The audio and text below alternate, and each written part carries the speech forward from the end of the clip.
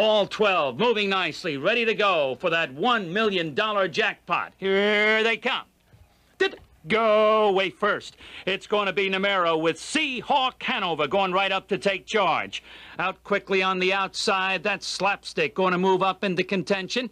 New York Motoring drops in on the rail fourth. Land Grant in fifth with Computer tucked in on the rail sixth.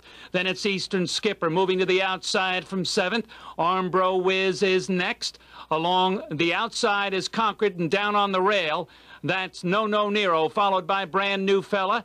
Last as they come off the turn is Night Wind. That quarter in a flat 28. They head down the back stretch. Seahawk Hanover has a two-length advantage. Slapstick is tucked in second. Numero's in third. Here comes Land Grant moving right up to join the leaders.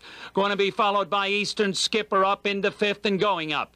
New York Motoring is sixth. Armbro Whiz is seventh. Computers eighth and locked in along the rail. Conquered right alongside is ninth. Brand New Fella goes to the outside looking to avoid traffic problems. Then it's Night Wind and it's No No Nero. They went the half in 56-4. It's anybody's shot right now on the turn. Land Grant's got a head advantage, but Seahawk Hanover controls the rail. And Slapstick is up and ready to move at them, along with Numero along the inside in third.